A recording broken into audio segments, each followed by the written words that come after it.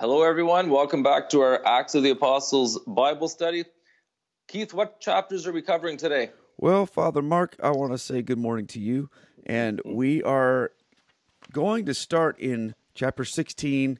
I think we're going to try to get through at least 16, 17, 18. We might delve into 19. We'll see how it goes. I think I think I don't know about how you are with this stuff, but for me, I can say we're going to do all this, and then I can get stuck in one spot and just be blown away about how amazing it is. And, and before I know it, I've been talking about one thing for 30 minutes. So Yeah. I would yeah, like to get through two or three chapters today, um, but we'll see what happens. Keith, you've you had a just a, just a, it's off topic, but you, you have a huge uh, news uh, in your life, eh? Big launch. Do you want to mention that to the viewers? Oh yeah, well, um, yeah, I mentioned this on my channel yesterday, but um, this this book I've been working on for for for, um, the last year or so, I basically officially have started telling people they should check it out on Amazon. It's called The Convert's Guide to Roman Catholicism, and um, it's a book written really for people who are making their way into the church as converts to help them understand the nuances and things that will happen to them as they convert. It's not really an apologetics or theological manifesto, so to speak, as more as it is a, like a like a guidebook, a handbook for people coming into the church. So I'm excited about it and been working on it for a while, so people can get it on Amazon and hopefully. Sweet. And what's what's the subtitle? It's the It says uh, your first year in the church. yeah. So this is the kind of thing that I felt like I feel like a lot of converts need, um, because you go through an RCIA class or you, you you meet with someone and you preach whatever like what I did, you come into the church, but and you can learn a lot of the basic theological things, but there's some things that you just can't really be taught in a class, like Mhm. how do you find a local church? How Mhm. do you tell your friends you're Catholic? Mm-hmm. How do you know where to start in terms of different devotions and things like that? So, anyway, I'm uh, I'm pretty excited about it, and I, I've, I've been getting some good response from people. So, Sweet. pumped, that might so be that might be a good gift if, if if anyone out there knows someone who's taking in RCIA right now. That might be a because they'll be becoming Catholic in a few weeks at the Easter Vigil, so they might need a nice guide for their first year in the church. So yeah, I I know I, I could have used one. Um, Yeah. and I've, many people I've talked to have said the same type of thing. Like, yeah, I mean, there's so many books out there about about converts and about what people learn and do as they're coming into the church, but this one's a little bit different. So, sweet. Well, Yeah. um, that's exciting. Congratulations. Thank you so much. Thank you so much. I'm really I'm really excited to see how this helps people. Beautiful. Well, So- let's start with our Yeah. Go, prayer. In the name of the Father and the Son and the Holy Spirit. Amen. amen. Come, Holy Spirit, fill the hearts of your faithful and enkindle in us the fire of your love. Send forth your Spirit, and they shall be created, and you shall renew the face of the earth. Amen. Amen. In the name of the Father and the Son and the Holy Spirit. Amen. Amen. Okay, so Well, we're good mor- sitting I here. forgot to say good morning. Good morning, Keith. Why don't you take us away? Okay, so we're sitting here the day after Ash Wednesday, and so Lent is upon us, and we're in the middle of our Lenten journey towards Easter and, and Good Friday, and and ultimately this idea of penance and sacrifice for the Lord to help us. And as I, as I was reflecting on that, looking through what's happening now in Acts, we're kind of making a transition in this book from really like learning about what the the apostles were doing in Jerusalem and then about Peter and then Paul. And now we're going to start to see what happens when when Paul goes on these they call them these missionary journeys. And he's he's basically taking the the decree from the the church about how the Gentiles are to be brought in. And he's going out now to share this gospel message. And we're going to see some really interesting things here that takes place on this journey. Now, Paul is with he's no he's not with Barnabas anymore. He had been traveling with Barnabas, but they had a separation because they had a disagreement really ultimately about uh, John Mark. And Paul didn't want to take Mark with him because at one point in time he had left them while they were on their trip for some reason, but Barnabas wanted him, so they separated.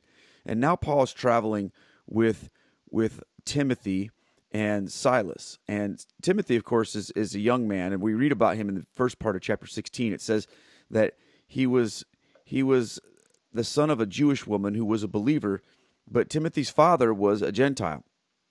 And in verse 2, it says he was well spoken of by the brethren at Lystra and Iconium. And Paul, Paul wanted to accompany him, uh, and he took him and he circumcised him because of the Jews that were in these places, for they all knew that his father was a Greek. So we we have this weird instance right away where just before this in the Jerusalem council we were said that this was the only thing required of Gentiles was to abstain from blood and from meat strangled from from animals who were strangled and from fornication and from idols. But now here's Paul and he is circumcising Timothy because most people knew that Timothy was sort of a um, he was a mixture of he had he had a Jewish mother and he had a a Gentile father.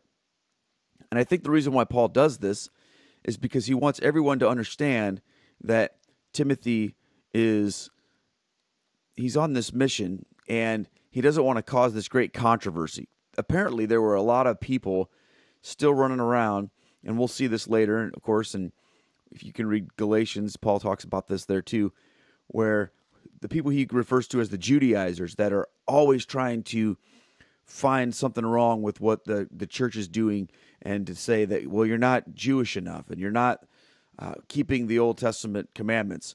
And I think maybe Paul does this with Timothy because he just doesn't want to deal with it. He doesn't want to have to always be addressing this issue. But I think it's interesting. You know, you think, well, how would anybody even know? You know, how would he even know? And but apparently, and we'll read this later, that um, in the New Testament, people would spy on Paul and Timothy while they were, I don't know, getting dressed or taking a shower, I don't know, whatever, to see if they were circumcised or to make sure they were keeping the rules. Now, I don't know if this is necessarily the best uh, new convert class, but this is what Timothy was willing to do in order to to not cause a stir. And I don't know, Father Mark, I think sometimes, even though we don't have to do certain things, sometimes it's wise to do them just to avoid unnecessary conflict. Have, have you ever experienced that? I'm sure as a as a priest, you have people all around you all the time that, you know, um, can sometimes get lost in minor details. And sometimes it's best just to go, have it your way. We're going to move on yeah. and get on to the big things.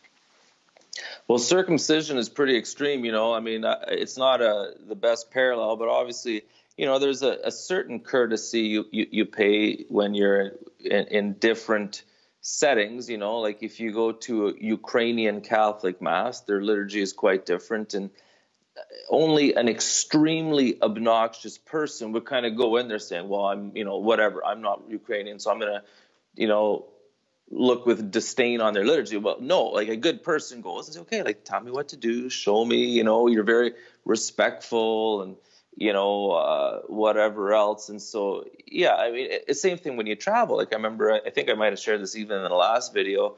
Um, you know, when, when you go to India, a lot of the chapels, a lot of the churches, everyone kicks off their shoes and goes into the church bare feet. Well, again, only a really obnoxious person would be like, well, we don't do that in Canada. I'm leaving my shoes on. It's like, to me, dude, take your shoes off. you know, yeah. you're in India. That's how they show respect, you know. And, and again, you can go through, you can go through the list. Um, so t- t- now again, I mean, there's a kind of a big difference between taking your shoes off and allowing yourself to be circumcised.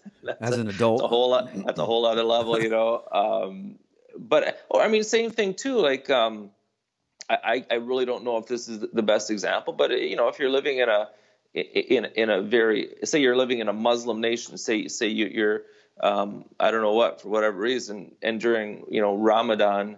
Um, I mean, you know, is it right to be cooking cooking sausages, cooking hot dogs in the middle of the day? You know, you know, outside barbecue. You know, is, there's you know a legitimate respect and courtesy you pay to other people that isn't compromising your own faith. It's just being, you know, a decent human being. You know. Now again, I, I, I don't know if that's exactly related to allowing yourself to be circumcised to uh, not give offense to the Jews, but. Well, I think it's, I think it's just a classic example of picking your battles. You know. Yeah. Because yeah. you could, and there are some people that just they want to fight about every little thing, and you see Yeah, it yeah. everywhere. But I, I think that that mindset of well, I'm gonna fight every battle about every topic, every point, every this, every that. I, I my own personal opinion is you won't get very far in ministry if you're going to get hung up on everything that Yeah. people struggle with and that people disagree with. Um, so picking your battles is important when you're when you're sharing sharing your faith with people when you're when you're doing ministry Yeah.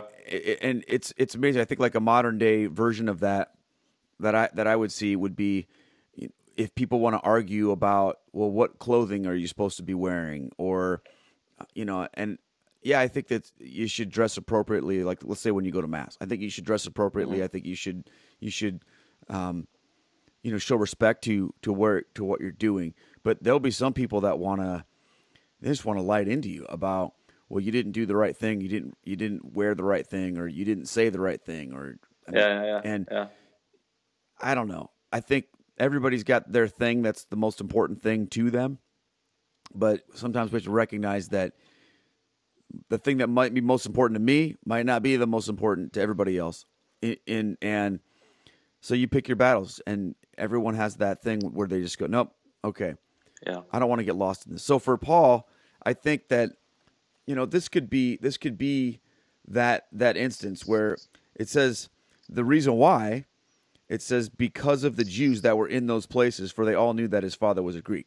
So this is the why for Paul, and he, he's saying that he people are going to say, well, Timothy, his dad is a Greek, so, um, you know, is Timothy really a Christian? Is Timothy really, you know, whatever? So Paul just says, look, I'm going to show that he's with us. He's Yeah, yeah, he's yeah. made this transition. He's he has given himself over to this, and we're not going to unnecessarily cause a big stir over that issue.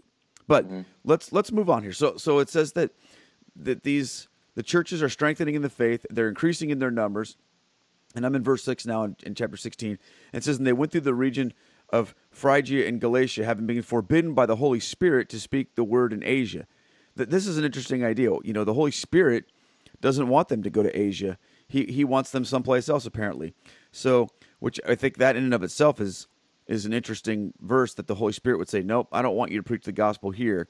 I want you to go over there." And that that just shows that the Holy Spirit is at work in in this and there are some times and places where it's not right to go. And this was one of them for for these guys. He he had different different plans for them. So it just kind of goes through that they're they're they're making these trips, and this vision appears to Paul in the night of a man of Macedonia standing and pleading with him, saying, "Come over to Macedonia and help us."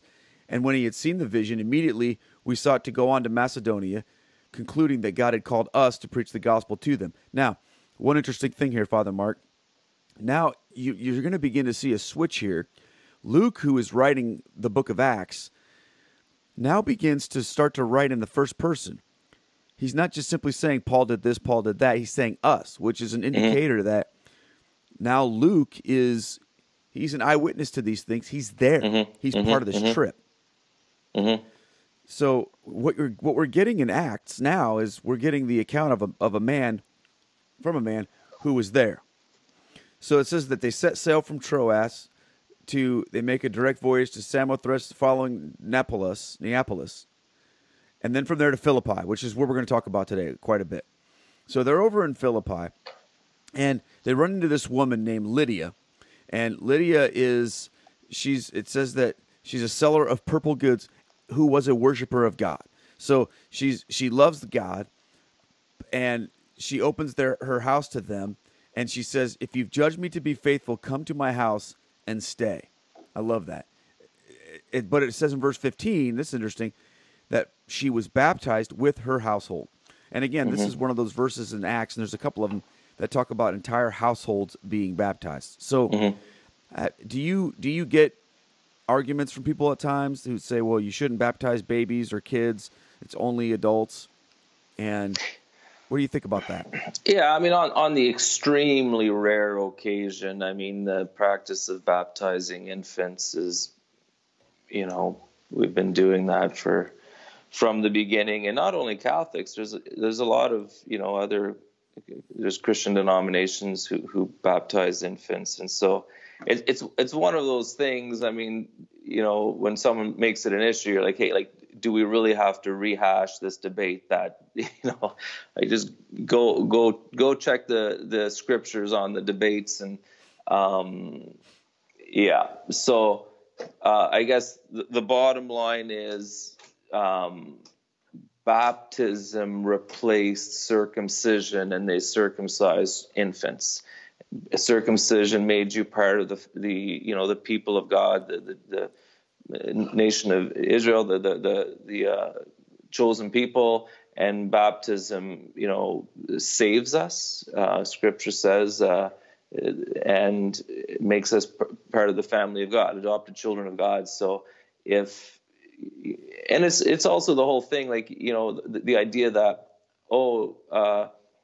Uh, you have to be old enough to, to make your own decision, and then you're saying that it's it's it's reliant on the person. It's not a free gift of God, you know. And as just as a, an infant of eight days could be part of the the, the family of God, the, the chosen children of Israel, so too a child, you know, through the decision of the parents, can be can be washed clean and saved and, and be part part of the family of God. And there's always obviously the understanding that the child will be raised in the faith and and before the child even you know like from the from the child's uh, youngest years, the child learns to, to know and to love God, you know, so.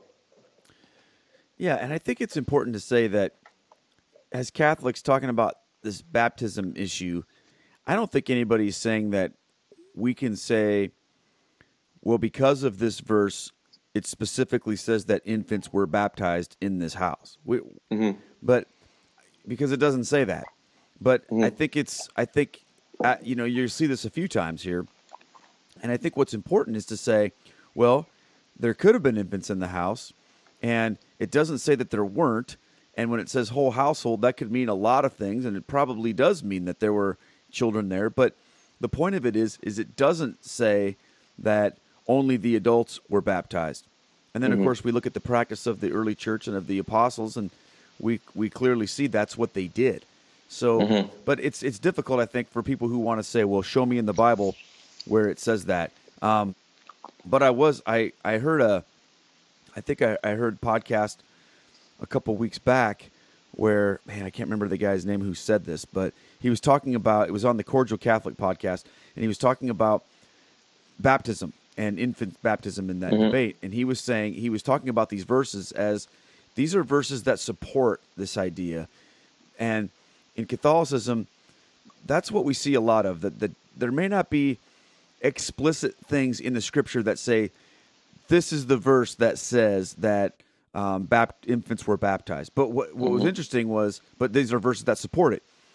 And what was interesting to me was that he was pointing out that a lot of people believe things that aren't specifically explicitly said, but that are supported in the scripture. For example, he he said, point to the chapter and verse that says women can take communion. Oh yeah. and and I mean, obviously he believes he obviously believes that. women can take communion, but mm-hmm. there, if if you want to apply that same standard to every belief yeah, that yeah, even even people who would oppose infant baptism would have, you say, okay, well then show me the chapter and verse then, and it's just funny to me how people want to throw those things out at, at, at the at us Catholics and say, well, where in the Bible is the Rosary, or where in the Bible right now, where is Lent in the Bible? But if you turn that around on them, it can be yeah. like, what are you talking? Of course, of course. Well, it might not explicitly say that, but it supports it. Yeah. So anyway, I could get stuck in this for a long yeah. time, but I don't. Or where, where, where in the Bible yep. does it say that Americans can be baptized? Yeah, exactly. Uh, I mean, where show me that in the Bible? Know? and and you can say that about anything, really. You can yeah. say, well, and and of course, we're not advocating that you have to be able to do that. Yeah. but it's funny how so many others will advocate that towards us, but they Mhm. themselves they have a different way of dealing with it. Yeah. So anyway, so Paul, Paul and Timothy, and and Silas and Luke and maybe others I don't know are are there with with Lydia in this place. It says, and she prevailed upon us, which means that they basically did what she said. So next thing we're going to see happens here is that these guys are going to what they refer to as a place of prayer, um, which indicates they didn't say that they're going to the synagogue. So we don't really know what this place of prayer is, but it's it's a it's a place where they where they gather together, and they're met by this slave girl who it says had a spirit of divination and brought her owners much gain by soothsaying. So this slave girl has like this psychic ability or some kind of power or whatever to tell people's fortunes or whatever. She follows Paul and us, crying, These men are servants of the Most High God, who proclaim to you the way of salvation. And she did for many days. But Paul was annoyed and turned and said to the Spirit, I charge you in the name of Jesus Christ to come out of her. And it came out that very hour. Now, I think, if, if I'm not mistaken, Father Mark, is this the first time we see an exorcism done by somebody other than Jesus or the 12 in, in, um, in the scriptures? I don't know if I mean, it could, it, it could be. I don't know. That's a good question. I mean, uh, doesn't it say earlier that they they healed people and cast out demons? I I, I don't know. Yeah, but I mean, like this, this, is is, an a specific, this is an explicit one yeah, though. A specific example of of why they would do that. So they they cast Paul, they cast the demon out of her. But when her owners saw that the hope of their hope of gain was gone, they seized Paul and Silas, dragged them into the marketplace and rulers, and they brought them to the magistrates. They said, and I like this. They said, "These men are Jews, and they are disturbing our city. They advocate customs which is not lawful. or- They advocate customs which it is not lawful for us Roman citizens to accept or practice." So then they get this big, this big uproar. It says that they were beat them with rods. Now let's not Yeah. just kind of gloss over that. Yeah, yeah, yeah, they beat these guys with rods for preaching the gospel and casting out this demon from this girl. It says when they had inflicted many blows upon them, they threw them into prison. I mean, this is not a welcoming place for these guys. And they're there sitting in jail.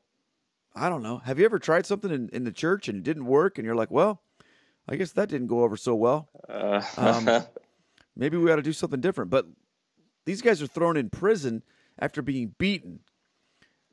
But verse 25, that this is one of my favorite stories in the in the book of Acts. But about midnight, Paul and Silas were praying and singing hymns to God, and the prisoners were listening to them. It's like a little church service in there. And mm-hmm. suddenly there was a great earthquake, so that the foundations of the prison were shaken, and immediately all the doors were open, and everyone's chains were unfastened. Wow. yeah.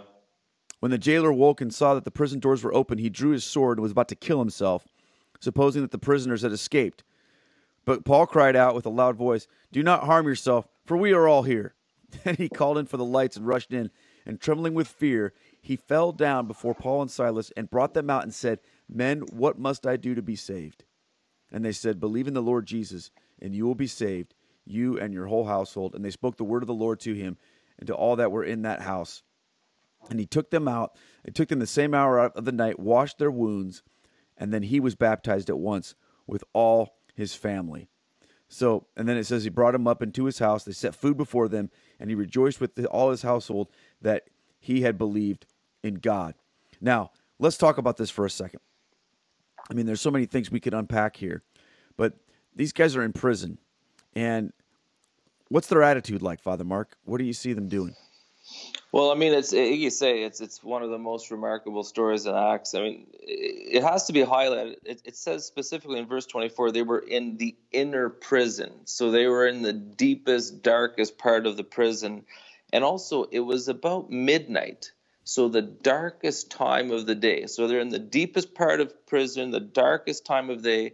They were just beaten up, and they're in chains to me that's a it's a biblical image of about as low as you can get you know like being in the depths of you know a bad situation. Like some people think oh i'm really in a bad situation. Well you know it doesn't get much darker than this.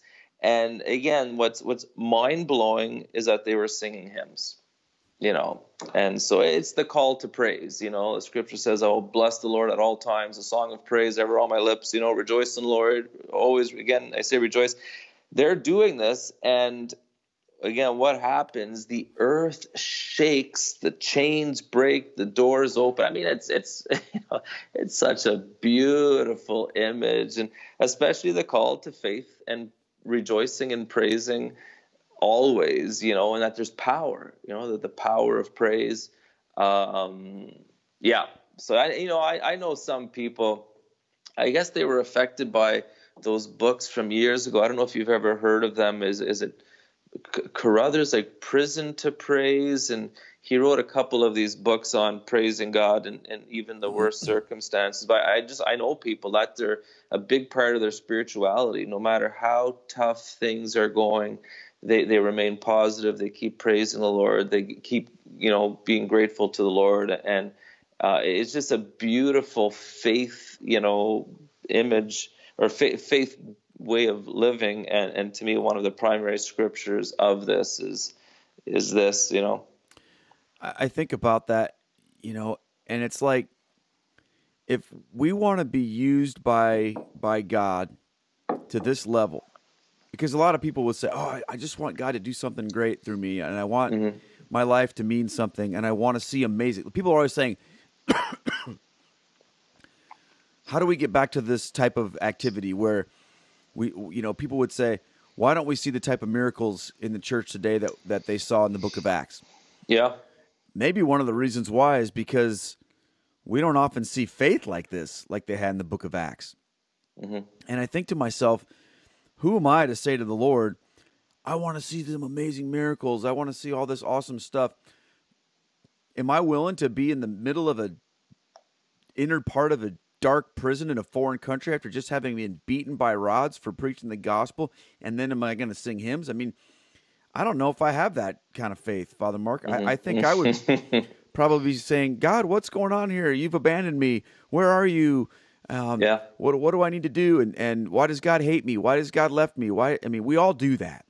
Yeah. We all have this tendency to look at our circumstances and then judge God's faithfulness to us based on those circumstances, especially when they're bad. When they're mm-hmm. good, we just kind of enjoy it and fly through it and don't always stop and say thank you. That's human nature. I mean, I, I think of Jesus and the 10 lepers and only one return or, or whatever. And Jesus said, "What happened to the other nine? Where are these other guys that I that I healed?" When when things are going good, when God does these things for us, we can easily just take it for granted and move on. But when things are bad, when they're difficult, then we're all like, "Hey, this isn't fair. This isn't fair. Mm-hmm. I've done this. I've done all the right things." Sometimes you can do all the right things, and the the darkest part of your life isn't the result of God abandoning you. It's it's you're exactly where God wants you because he has a purpose for you in that. And for Paul and and these and these other people that were with him on this trip, they they they allowed God to work in them despite their circumstances around them. And it was almost like they said, "We we know that this is what's going to happen, and in the darkest places, we're going to continue to praise the Lord." And that's what led to all of these amazing things happening the earthquake, the jailer coming in, afraid that he was going to be in trouble for these men getting out. And mm-hmm. then him saying to them, okay, this is real. Their response to this adversity was what showed him who God was.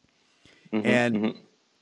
we might not have that type of adversity, but our response to whatever adversity we have is a witness to who God is to other people in our lives. Mm-hmm. And that can be huge for people if they see how we respond and how our faith is strong, no matter what's happening to us. People can look at it and go, man, I don't know how you went through that and held your faith. I would have given up. Wow, there must be something to this Jesus stuff. So it's an amazing story.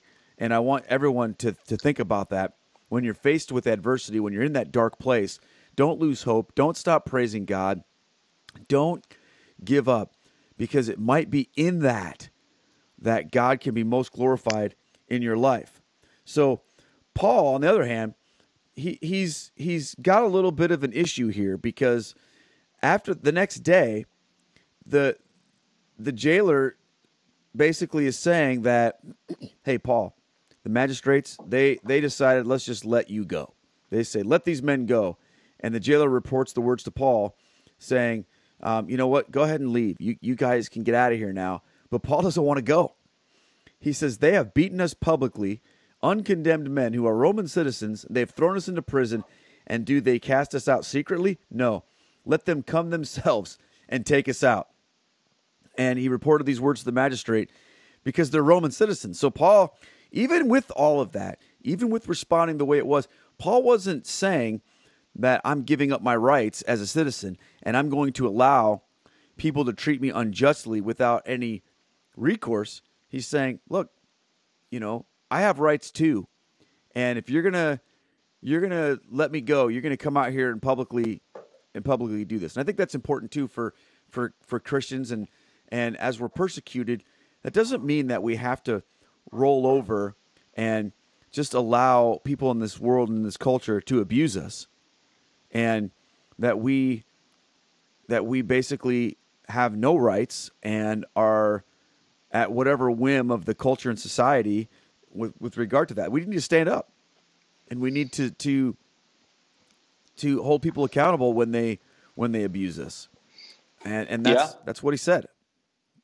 Yep, I mean every every society is supposed to have some kind of a legal system for justice and the rights of the people, and you know uh, we should uh, uphold those and and you know appeal to them and and you know demand that we keep justice not just for ourselves but for others. So yeah, Paul's tough as nails, man. Is, man. Very impressive. Yeah. So okay, so then they take off. We're going to move into chapter 17 here, and it says they'd passed through uh, Amphipolis and Apollonia, and they came to Thessalonica. Okay, Thessal- the book of Thessalonians. This is written to the church at Thessalonica, and we're gonna we're gonna f- fly through some of this stuff because I really want to get to what happens here when he when he leaves Thessalonica and goes to Athens. But there's one verse in in, in this chapter 17, the first part, that I want to to highlight.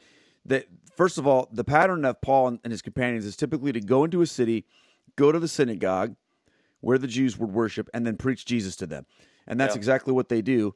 And he says to them, This Jesus who I proclaim to you is the Christ.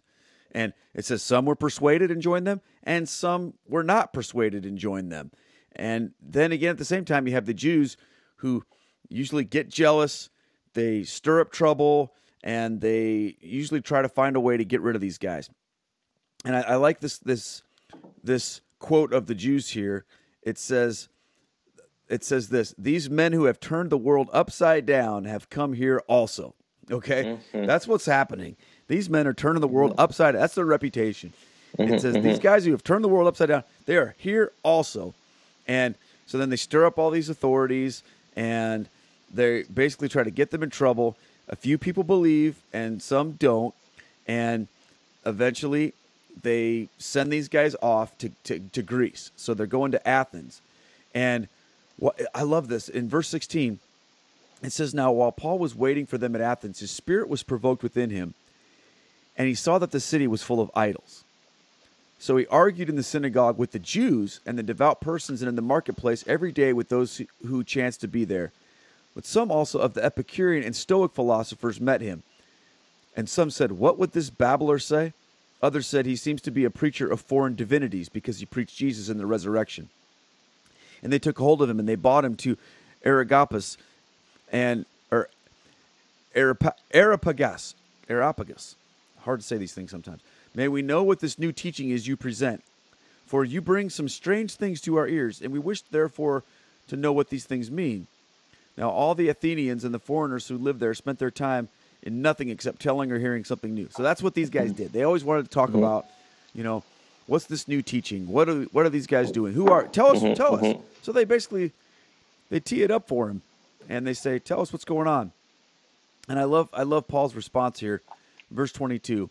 Standing in the, in the middle of the Areopagus, he says, Men of Athens, I perceive that in every way you are very religious.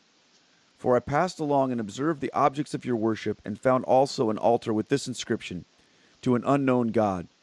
What therefore you worship is unknown, this I proclaim to you. The God who made the world and everything in it, being the Lord of heaven and earth, does not live in shrines built by man, nor is he served by human hands as though he needed anything. But since he himself gives to all men life and breath and everything, and he made from one nation a, a, a made from every made from one every nation of men to live on all the face of the earth, having been determined allotted periods and boundaries in their habitation.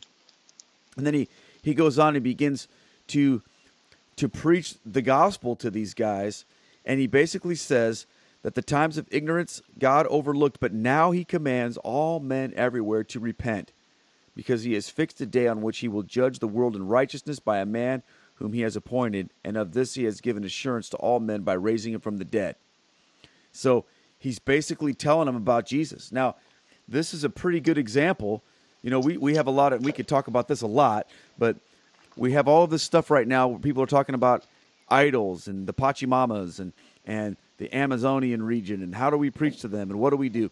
But here's how we see Paul did it. What, what are your impressions of that, Father Mark? Yeah, well, I mean, like you say, there's with St. Paul, there's that urgency to, to, to preach the Lord Jesus, and I mean, you don't you don't see much kind of pandering to to the idolaters. There's there's a clear, definitive, unambiguous call to reject the idols as completely useless. You know, you don't need those in your life. As a matter of fact, they're they're a hindrance from um, you know being in communion with the one true God in Jesus. And and so yeah, I mean, I, I think you and I see eye to eye on this. This, this whole notion that some are presenting today in the church that oh, you know, we should really kind of um, uh, have some uh, deeper respect and understanding for the kind of idolatry of the past. We're just like, no way. you know, I mean, it doesn't mean that we, we need to go, you know, I don't know what, you know, beating people up or something or being uncivil about how, how we do things, but there has to be, we have to get our, our, our you know, a clarity and backbone back as Catholics and, and, and just have that clear black and white proclamation that there's you know idolatry is evil you know? It's it's it, it, it leads people astray. It's a complete waste of time and is is, is harmful. And uh, paul we see this with paul. Well i think what's interesting too is when he comes to the city the first thing he does in athens while he's waiting is he walks around and he yeah. looks at their he looks at what these people are doing and how they're practicing their religion and I think what he's trying to do is find some common ground so that he can preach the gospel. And he says, You know, I perceive you guys are very religious. You have this understanding of, of, of a creator or something beyond just the physical realm. Now, let me tell you where that comes from. And let me show you this, this, it's almost like this inner longing they have to connect with the divine is there, and he he honors that. But he says, "But let me show you where that where that really comes from, and the the fullness and the truth of that versus all these idols that you have." So this unknown God, I, I love that idea of the unknown God, because really, that's what this is about. People everywhere, every culture, every society, every time, place, whatever, all have this built-in desire and this knowledge that God is real. That's why every culture has a religion at some point in time because because there's that inward revelation of the Holy Spirit and the outward revelation of creation that that Romans talks about that proves that God is real to all of us. We just know it inherently. So what we do is we try to exercise that and connect with that through these different ways. And Paul is saying, I'm glad that you express that and that you have that. Let me show you the right way, you know? Mm-hmm. And he doesn't say, well, we can take what you do and blend it with what we do. He doesn't do that. He doesn't say it's okay to have your your unknown idols over here or your idols over here and we'll just mix them together and it'll be fine. He doesn't do that. He says all the other idols, they're worthless. let me tell let me talk to you about the one true God. And then he talks to him about Jesus. And his evidence, of course, because God raised him from the dead. I mean, that's the bottom line. These other idols, they don't they're no they're nothing. They're Mm-hmm, they're fake. They're created. They're they're human. They're human creations. They're not connected to reality. But Jesus Christ is he was real. He was a real Mm-hmm. person that lived and that died and that rose again. And that's Mm-hmm. the ultimate proof that he was who he said he was. And ultimately, I think that's a good a good way to approach this idea of evangelism Mm-hmm. is to say to people, yeah, you know, we're not just going to come in there and bulldoze your city, but we're Mm-hmm. going to come in there and we're going to we're going to explain to you that yeah, these things that you feel connected to in a transcendent way, that reveals that you have this desire for God, but we're going to talk to you about the reality of God. Not and, and, and these idols, they're they're not it. They're not Yeah. it. Yeah. So I mean, the, there yeah. there is there is the valid point that, like you said, Paul didn't go in and just bulldoze the whole thing. You know, there, there was some sense of these people being spiritual, and he found something in their, you know, practice that was kind of a pointer, you know. And so I, you know, I guess the people who would say, "Hey, like, listen, when you when you encounter different religions or belief systems or whatever tribes with their practices, you know, don't don't be too quick to just wholesale write off every single thing. You know, there may be things that are, I guess, what Vatican II calls seeds of the gospel. You know, I mean, I know the native people up here in Canada. Um, you know, I, I'm told that they they did have a sense of the one Creator who is good of all things and sustains life. Life, Yeah. and so the, you know the missionaries would have affirmed that, um, and so on. So. Um, so yeah, I mean, I, the- I guess it's, I guess it's a, I guess that Pachamama thing just threw us off. You know, it just made us so frustrated and angry. And, you know, so, anyways, yeah, they I- should, they should have never had those Pachamama idols in in the churches and all. Like that's, you know, I mean, I, th- that just that did not help. You know, the our, our uh, I don't know what, you know, our, our sense of, you know, the, the, the distinctiveness of Christianity. And Yeah, Anyway. I don't. I I mean, we've talked about that before, and I don't get it either. And I, the funny thing is that maybe it's not a funny thing, maybe it's a sad thing. I don't hear anybody defending that. I, No. I, I don't hear anybody going, "What are you talking about?" It was good to have Pachamamas in the church. Um, you know, I mean, I guess maybe some of the some of the cardinals or whatever that are off in left field someplace, but I, I don't hear like regular Catholic people um, on YouTube or on Twitter or whatever, or wherever people talk about this stuff. I don't hear anybody going, "Well, we should really, you know, cut them a break, and maybe the Pachamamas aren't so bad." Everybody's just like, "Come Yeah. on, man, yeah, what the heck was this? Why are we doing this?" So yeah, I, I'm with you. I think that was a that was a dark spot in in recent or present times in, in what's going on in the church mm-hmm. because I don't think it's helpful at all. And it's I mean it's not even just not helpful. It's just in my opinion. This is my opinion.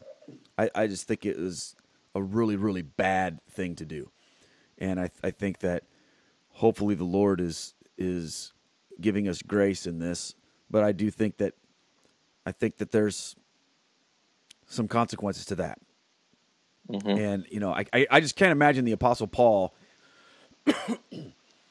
grabbing one of these idols that these people had and saying, "Well, we're going to take this with us and set this up in the synagogue when we go in and preach preach Jesus, and we're just going to honor this culture with these idols."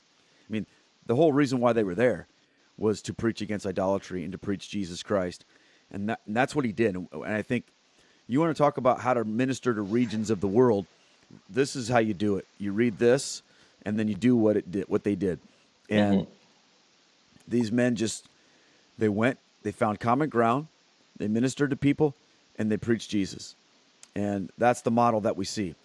Now, um, moving into chapter 18, okay, we're going to see Paul going to Corinth. And unfortunately, I don't think we're going to get all the way through chapter 18. Um, my, my prophetic words of not being able to make it as far as I hoped, I think are coming true uh, because we're, we're closing in on 45 minutes right now. But we're going to see Paul in Corinth. And while he's there in Corinth, you know, again, he's occupied with preaching, testifying to the Jews that, that the Christ was Jesus. And when they opposed and reviled him, he shook out his garments and said to them, Your blood be on your heads. I am innocent. From now on, I will go to the Gentiles. So he, he goes to the Jews, and I think he's just getting a little frustrated sometimes. And they're just like, Look, I'm sick and tired of arguing with you people. If, if you're not going to listen to me, if you're not going to receive Christ, then I, there's nothing more I can do for you. I'm out of here. So then it says he left and went to a, a house of a man named named Titius, a, Titius Justus, a worshiper of God. His house was next door to the synagogue. Crispus, the ruler of the synagogue, believed in the Lord. See, everybody everybody wasn't on the same page. Some people believed, others didn't. So this Crispus, he was he was a high up guy in the synagogue, and together with all his household, many of the Corinthians, hearing Paul, believed and were baptized. And the Lord said to Paul one night in a vision, Do not be afraid, but speak and do not be silent, for I am with you, and no man shall attack you to harm you, for I have many people in this city. And he stayed a year and six months teaching the word of God among them. So, I mean, think about that. It's a long time. He get, camps out here and he's going to stay. So, even though he was like upset, he's like, I'm not doing this, man. People came to him, they, they ministered to him, and the Lord said, just chill. That's my that's my paraphrase. Just be here. I've got I've got people for you here in this city. So he spends a year there, in six months, a year and a half, and does great ministry. And I, I think I'm going to have everybody just sort of read through the rest of this. We'll get to we'll get to the second half of chapter 18 next week, and then we're going to move into in chapter 19. One of the most important stories, I think, is what happens when Paul encounters these demons in the sons of Sceva. Well, and we're going to look at that, I think, in detail next week. But read, read, read into 18 and see what happens when the Holy Spirit begins to fall on on these people. It's powerful stuff. His his his ministry there in Corinth. So I don't know. Do you have any any thoughts about about this whole idea of shaking the dust off your feet and saying, I, I don't want to do this anymore, but I'm frustrated. I mean, even Paul got frustrated, but God says, just just hang on. It's all going to be good. Yeah, I mean, obviously, Paul was under the inspiration of the Holy Spirit. He was working in power, and I guess he, he was just sharing in the mystery of Christ. You know, I mean, the Lord yeah. Jesus worked wonders. He, he, he, the Lord Jesus was was a good man. He, um, you know, spoke wonderful, you know, uh, words, and his words were confirmed. But some people received Jesus' message, and some people didn't. And, and Jesus said, "No servant is greater than his master." If they persecuted me, they'll also persecute you. So it, it just makes sense that Paul is going to experience that. And it's the mystery, Keith. It's it's just the mystery of, you know, the human heart, the human soul, and and how some people open their heart to God's word and the word comes in and bears fruit, and other people are just resistant and, and yeah. hardened or maybe just not ready at that moment. I mean, there's always the hope that a person will come around, you know, like uh, maybe at this point in their life, they're just not there yet, but maybe 20 years from now they they they will be. Uh, but obviously, you hope and you pray that every person, you know, accepts the Lord Jesus, opens their heart to the Lord, and and um, you know finds salvation and eternal life. Uh, so so Paul is just he's he's not back, backing down. I mean, it's just so edifying to see his unrelenting um, focus and, and fervor to, to preach the Lord Jesus and uh, and thank God for him. I mean, he he, uh, he really pushed Christianity forward. But of course, it was the Holy Spirit. You know, it was the Lord giving him the grace and, and leading him. We see the Spirit leading him so clearly, and so yeah. Amen. Yeah, to be led by the Spirit is really the goal. I mean, people are always saying, "Should I do this? Should I do that? What college should I go to? What job should I have? What this? What?" Sometimes we're going to know the answers to those things. Other times we just have to be led by the Spirit mm-hmm. and see what God will do. And that's exactly what we see here in in these chapters in Acts. And so I want to encourage everybody read read. I I, I read some and overviewed some. So um, I would encourage everybody read these things word by word. So read 16 through 18 this this next week, and and I know Father Mark, you're going to be gone next week, so we'll pick this up in a couple weeks. But um, read so read 16 through 18 just again as an overview with with this, and then start to read into 19. We're going to get into 19 next week as these journeys continue. And and believe it or not, we are making our way through Acts pretty quickly here now, because there's only 28 chapters, and that means we've got about 18 or about 10 chapters left, and because we're in 18 and we're going to see some amazing stuff here. So I hope you guys are, are continuing to dig into it. I appreciate the comments that we're seeing in the in the uh, about um, the videos and how they're helping you. I, I, pray. I mean, we're not like the most organized, structured Bible study here, and we just open it, read it, and talk about it, and see what the Lord does. And I think that's that's a good way to do it. But continue in your own spiritual uh, disciplines to dig deep, study, pray seek the Lord. And when you find yourself in those dark places, like what we see here with Paul and Silas, don't give up. Praise God and everything. Rejoice in the Lord always, Paul writes. And again, I say rejoice. There's nothing that can happen to you that can take you away from the love of God. Only only that which we do to ourselves when we, we choose to walk away. So let's stay strong in our faith. Let's stay strong in the Lord. And and in that we will be a light to this world and Christ will shine through us and, and people around will see that and hopefully come to know Christ as well too. Any any closing thoughts from you, Father Mark? Amen. That's beautiful. Yeah, just uh, thank you to everyone who's joining us in this uh, Bible study, and uh, Keith, you're doing you're doing a real good job, uh, kind of leading us in this, and uh, yeah, it's uh, it's a beautiful beautiful book of the Bible. Well, thank you so much again for being here, Father Mark. Would you close us with a blessing today? Lord, pour out your blessing, pour out your anointing, pour out the full grace of your Holy Spirit upon uh, just all these viewers, Lord, who are uh, spending time in your word. And may Almighty God bless everyone, the Father, the Son, and the Holy Spirit. Amen. Amen. Thank you, everybody. Thank you, Father Mark. God bless you all. Thank you, Keith. God bless you.